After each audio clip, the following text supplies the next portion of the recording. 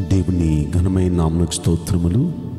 ఈ వాగ్దానం వింటున్న మీకందరికీ మన ప్రభువును ప్రియరక్షకుడైన యేసుక్రీస్తు నామములో శుభములు. మా హృదయపూర్వకమైన వందనములు తెలియచేస్తున్నాం. ఈరోజు దేవుని వాగ్దానం యశాగ్రంథం నలభై మూడవ అధ్యాయము పంతొమ్మిదవ వచనం. ఇదిగో నేను ఒక నూతన క్రియ చేయుచున్నాను. ఈ మంచి వాగ్దానం వింటున్న మనందరి వెనుకడిలో మన మంచి దేవుడు నెరవేర్చునుగాక. ఆ మేన్ ప్రియ దైవ జనాంగమా నూతన కార్యం మన అందరి జీవితాల్లో మన మంచి దేవుడు ఆయన జరిగిస్తాను అంటున్నారు. పాత కార్యాలేంటి? ఆ పైన అంటున్నారు మునుపటి వాటిని జ్ఞాపకం చేసుకోవద్దు. పూర్వకాలపు సంగతులు తలంచుకోవద్దు. మునుపు ఏంటంటే కష్టాలు నష్టాలు ఆర్థిక ఇబ్బందులు కుటుంబ సమస్యలు జీవితంలో జరిగిన ఫెయిల్యూర్స్. గత కాలాల్లో మన జీవితంలో ఇలాంటివి చాలా దొల్లినాయి చాలా ఇబ్బందుల్లో చాలా క్లిష్ట కష్ట పరిస్థితి గుండా మనం వెళ్ళిన రోజులు. అలాంటి ఆ భయంకరమైన ఆ పరిస్థితులు ఆ బాధలు ఆ వేదనలు అవి జ్ఞాపకంలోకి తెచ్చుకోవద్దు ఆ జ్ఞాపకం రానియొద్దు అవి. ఆ పూర్వకాల సంగతులు తలంపులో కూడా రానియొద్దు. ఆయన అంటున్నారు ఇదిగో నేను ఒక నూతన క్రియ చేయబోతున్నాను. అది ఇప్పుడే ఇప్పుడే అది ప్రారంభమవుతుంది. ఇప్పుడే అది ప్రారంభమవుతుంది. ప్రియ దైవ జనాంగమ దేవుడు నూతన కార్యం చేయాలి అనుకుంటే ఎవరు ఆపగలరు? నూతన కార్యం అంటే ఎలా ఉంటుంది?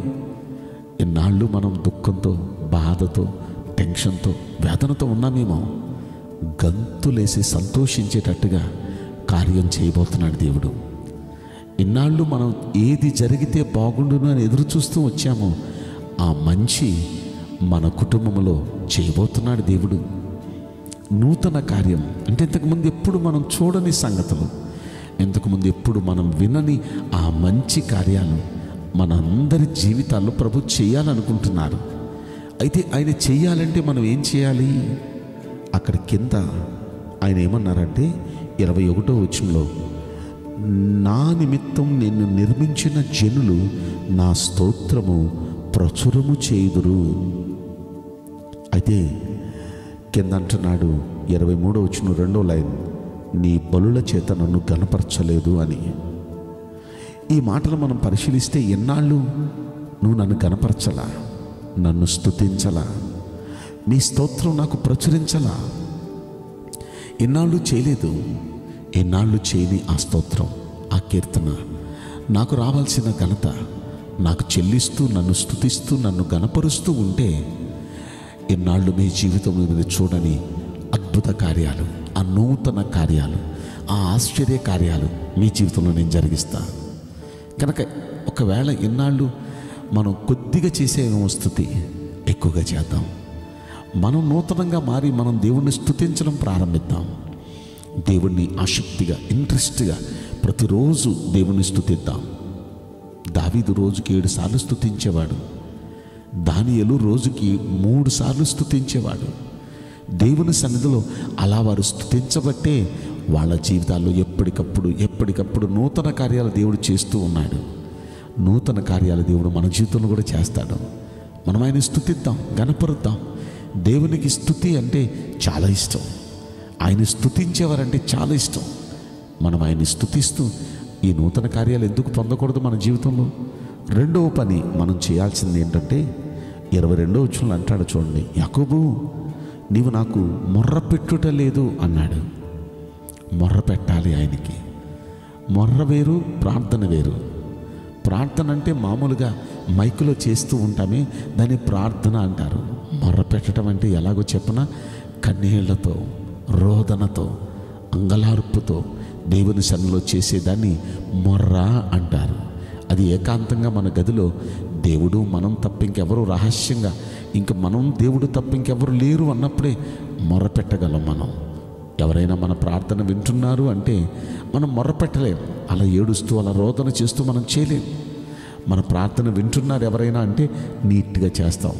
నీట్గా చక్కగా అందరూ మెచ్చుకునేటట్టుగా చేస్తాం. కానీ మొర్రపెట్టడం అది దేవునికి ఎంతో ఇష్టం. ఒక చంటి పిల్లోడు తండ్రి దగ్గరికి వెళ్ళి మొర్ర పెడితే ఆ తండ్రి దయ తండ్రి కరుణ చూస్తాడు ఆ పిల్లవాడు ఆ తండ్రి వెంటనే జాలి పడిపోతాడు. అరే ఏడవద్దు. ఏం కావాలో చెప్పు నాన్న. నీకు నేను చేస్తాను. అని ఒకసారి ఆలోచిస్తే పిల్లలు వాళ్ళ తల్లిదండ్రుల దగ్గరికి వెళ్ళి వాళ్ళు మామూలుగా అడిగితే పొందనేది మొర్రపెట్టి పొందుకుంటారు. మన దేవుడి దగ్గర ఇన్నాళ్ళు మామూలుగా మనం అడిగి ప్రార్థన చేసామేమో కానీ మొర్ర పెడదాం. మీరు నాకు మొర్ర పెట్టట్లేదు అన్నాడు. మొర్ర పెడితే నూతన కార్యాలు చేయడానికి ప్రభు సిద్ధంగా ఉన్నాడు. కనుక దేవునికి మనం మొర్రపెడదాం ఒకటి ఆయన స్థుతిద్దాం కనపరుద్దాం రెండు ఆయనకి మొర్రపెడదాం కన్నీళ్ళతో రోతనతో ప్రార్థన చేద్దాం. ఈ రెండు పనులు మనం చేస్తే మన దేవుడు అంటున్నాడు నేను నూతన కార్యం చేయబోతున్నాను. మన దేవుడు ఆయన మాట్లాడుతూ అంటాడు అరణ్యంలో త్రోవ కలిగజేసిన వాడిని నేను ఈ ఎడారిలో నదులు ప్రవహింపజేసిన వాడిని నేను తలుచుకుంటే ఏదైనా చేయగలను. అయితే మీరు రెండు పనులు మీరు చేయగలిగితే నేను నూతన కార్యం మీ జీవితంలో చేస్తాను. మీరు ఇన్నాళ్ళు కని విని ఎరగని ఒక మంచి నూతన కార్యం ఆశ్చర్య కార్యం మీ కుటుంబాల్లో మీ జీవితాల్లో నేను చేస్తాను. మీరు ఆనందించండి.